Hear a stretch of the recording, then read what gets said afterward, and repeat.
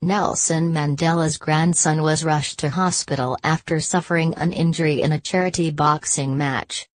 Kweku Mandela, a film producer, fought U.S. environmentalist Ben Bronfman but injured his shoulder during the contest. He was wheeled into an ambulance where heavyweight legend Wladimir Klitschko checked on him. Mandela was clearly in pain as he was administered with oxygen.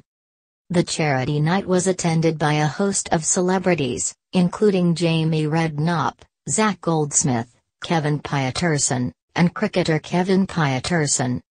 Princess Eugenie was also present at the event at Lindley Hall in London on Wednesday night. The evening was held to raise awareness and funds against elephant and rhinoceros poaching. Klitschko raised and pound 160,000 when he auctioned the robe he wore into the ring before facing Anthony Joshua.